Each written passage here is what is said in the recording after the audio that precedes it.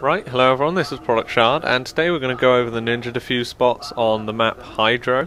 Uh, now, the A-bomb here is one of the easiest ones. Uh, well, this is the very first bomb I ever defused, like on the DLC, the first game I ever did. Uh, and that will be a useful comparison for later. Uh, but basically, for the A-bomb, the first spot is to come over to this table over here, you can hop up onto it, uh, and just lie on top.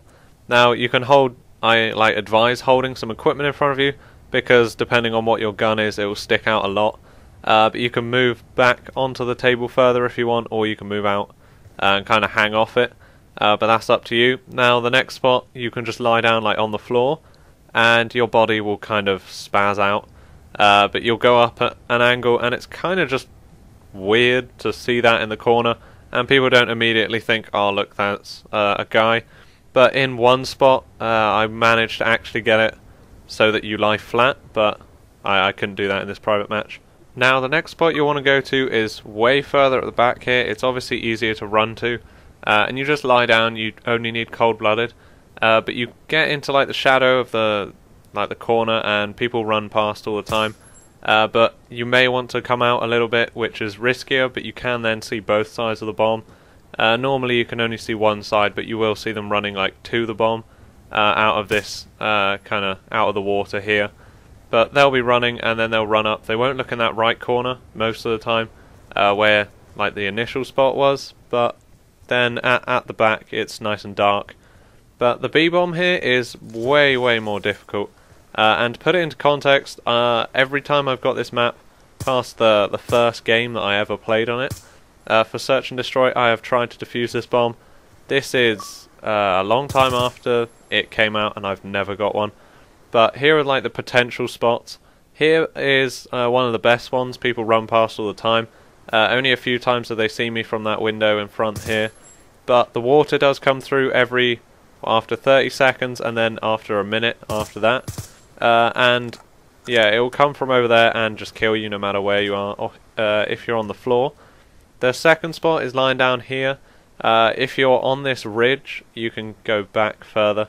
Uh, but as long as you're lying on this ridge, then the water doesn't kill you that goes through. People in front of you there, you will have to kill, as they will kind of just see you straight away. Uh, but if they jump straight out the window, then they'll just run straight past, and you can hop up and have a look at them there.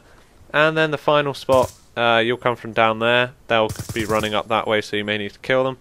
Uh, is to lie down up here. You can hear the bomb being planted and you can really easily hop down. But the van behind you, if that blows up, you die instantly. Uh, but yeah, as I said, I've never actually defused that bomb yet because, uh, as I said, the A-bomb was the first one I ever defused on any of the DLC on like day one when it came out. And the B-bomb I've tried ever since, like past that game, and I've never got it. They normally plant at A, and that's the reason.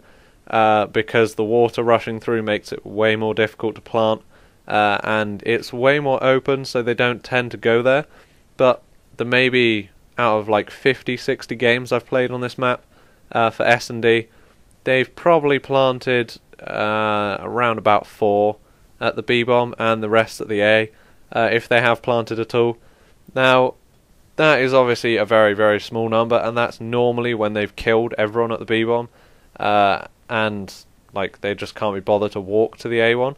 So it's generally not going to happen. I would advise just not going to the B bomb at all.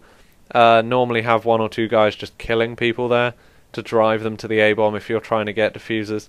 Um, but you can try the spots I showed you if you want to kind of just hide there. Uh, but anyway, click on any of the annotations to get onto the any any of the other maps uh, from this uh, Revolution DLC to find the Ninja Defuse spots from them. Uh, the originals down the bottom left uh, will take you to all the maps before the DLC, and DLC 2, 3, and 4 will be links to the DLC videos for DLC 2, 3, and 4 when they come out. So they won't be up now, but, well, when I'm putting this video out, but when you're watching this, they may be. So cheers for watching, and see you next time.